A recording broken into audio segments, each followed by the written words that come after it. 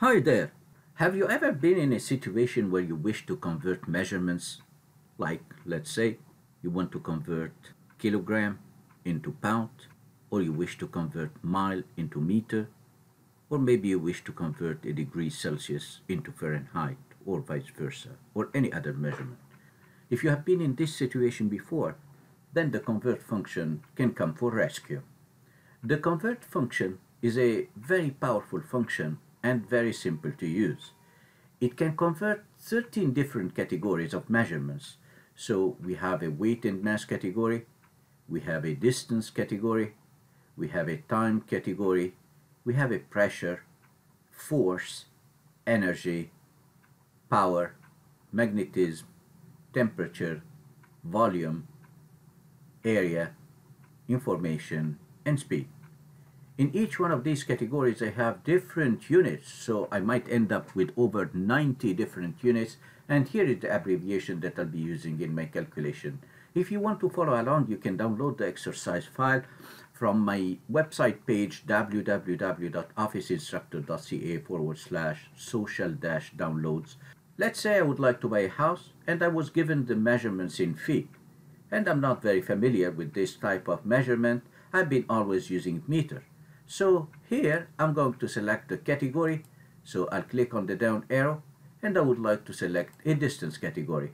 And I created a dependent drop list. If you want to learn how to create this kind of dependent drop list, you can just watch one of my tutorials about dependent drop list on my Facebook page. So I would like to convert foot, I'll convert it to meter. And look at my label, it's also dynamic it combines the values that you see in cell C2 and cell D2. Now I would like to convert these measurements from feet to meter. I'm going to create a convert function to convert whatever distance I have, whatever measurement I have from feet to meter. So I'll type equal convert and then I hit the tab key. What would you like to convert? It asks me about the number that I want to convert. I want to convert the number to my left and then I hit comma and then I need to type the from unit then I'll type it in double quote FT and then double quote and then comma and the to unit I want to convert to meter so I'm going to type it in double quote as well double quote M double quote and then I close bracket and then when I hit enter I got the conversion. I can click and drag to copy it down. So I was able to convert the measurement in column B from feet to meter and here my number has two decimal places. In my next example, we'll take care of that. Let's see another situation. I would like to prepare a certain recipe and I have all my recipe in gram and I would like to convert it in pound or maybe vice versa. I'll be using the weight and mass measurements for the convert function. So I'll be typing equal convert and then I hit tab what would you like to convert? I would like to convert the contents of one cell to my left B15 and then I hit comma. And here I have the units in a separate cell so I'm going simply to click on this cell and I'll lock it because I'll be copying down. And then I hit comma. I want to convert from gram to pound. The abbreviation for pound is LBM. So I'm going to click on this cell as well and lock it by hitting the F4 key, close bracket and hit enter. And I got what I want. I could reduce the number of decimal places by going to the Home tab and click on Decrease Decimal, but for now I reduce the number of decimal places before copying because when I copy, it will inherit the new formatting. And here is my conversion. I converted whatever I have in, in column B from grams to pound.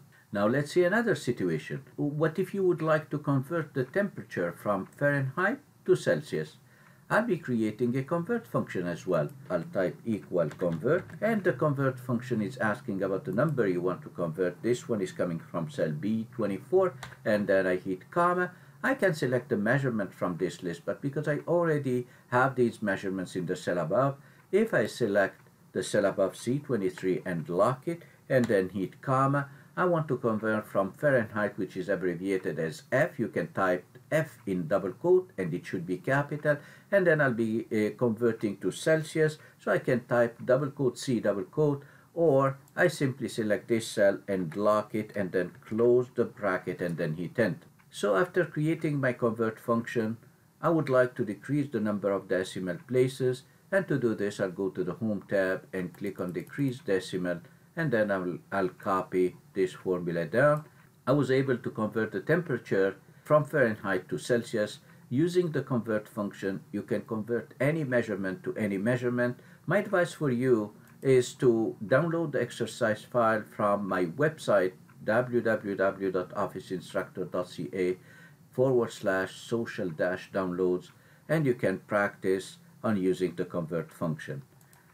Thank you for watching and see you in our next tutorial.